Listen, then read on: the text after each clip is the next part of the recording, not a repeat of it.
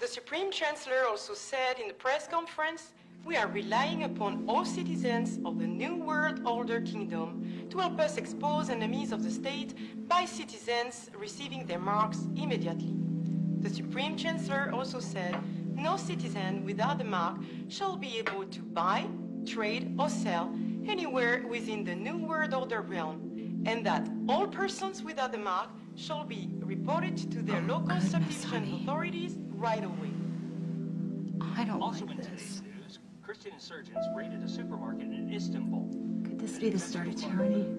It is reported that some 20 men No, women of course not. involved in the insurgency. You have to trust the system. Have faith. Praised the efforts of the You know, the, the government isn't concerned with us. We follow the law. They're only concerned with the ones that don't. Okay? also announced his military initiative. Now, isn't that how it's always been? Still seems like that our freedom's being taken away. I don't like it. Honey, our freedom is not being taken away. They're only doing what's necessary to ensure our safety. That's all. Don't worry. You'll see.